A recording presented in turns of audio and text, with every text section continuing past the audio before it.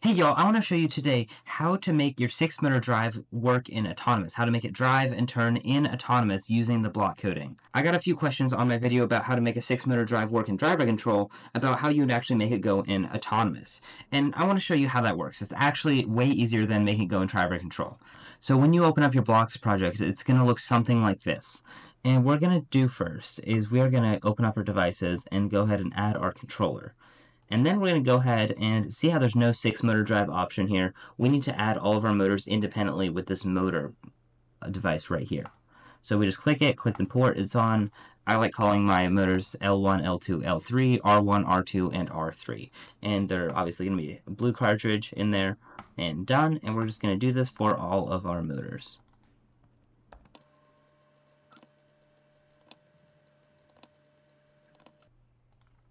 And depending on how you have your motors laid out, you might need to click on some of them and click this little reverse slider right here to go ahead and reverse the direction of some of those motors. So I might need to reverse my third right motor, and then maybe I'll need to reverse um, potentially my first and second left motor. It's going to be opposite on one side versus the other because one side your motors are facing one way and the other side your motors are merely facing the other way.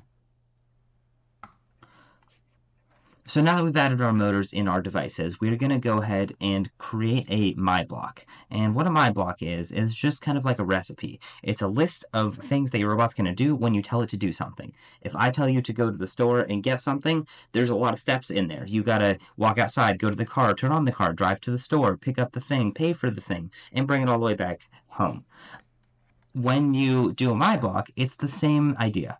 We need to tell it what we're going to call it. If we told it go to the store or whatever, we're going to tell it, in this case, we're going to tell it drive forward. And what it's going to do is it's going to do this whole big list of things when we tell it to just drive forward. And we're going to do a pretty simple set of things here. We're just going to tell it to spin all the motors forward for uh, the amount of degrees we tell it to. But you could tell it to do a lot more complex of a drive command or a turn command, and that is definitely very doable, even in blocks as well.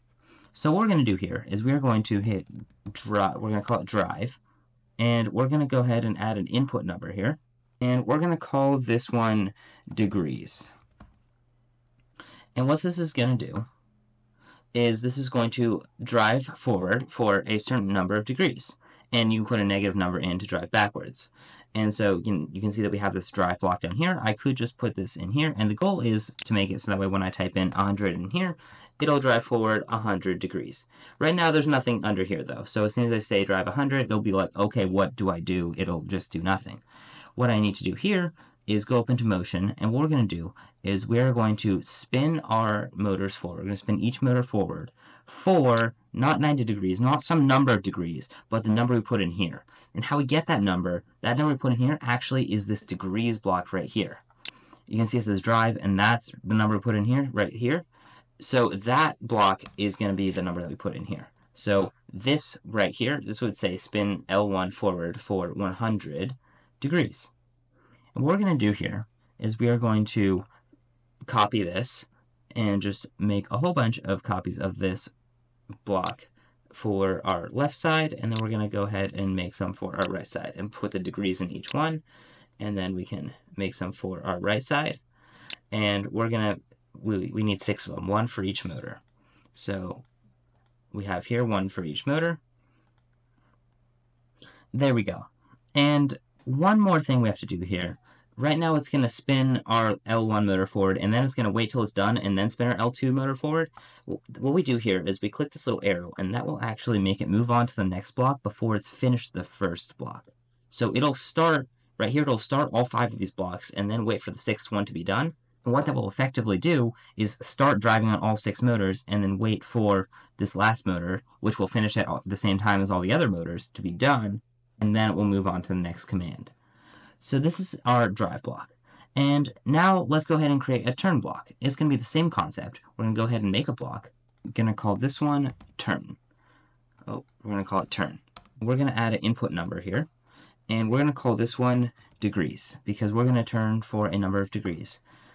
And there we go. We have our block here. And I guess generally it's not a good idea to have the same name for driving and turning. Maybe driving should have been for distance or something like that but we can fix that later. What we're going to do here for turning is we are going to make it so that way when we grab this turn block here, we want it to turn 90 degrees when we put 90 in there. So when we put 90 in here, this whenever it sees this degrees, that's from the turning, that's going to turn 90 degrees when I put 90 in here. So how we're going to do that, the same exact way we did all these, except I can, here I can duplicate these and actually just bring them down here.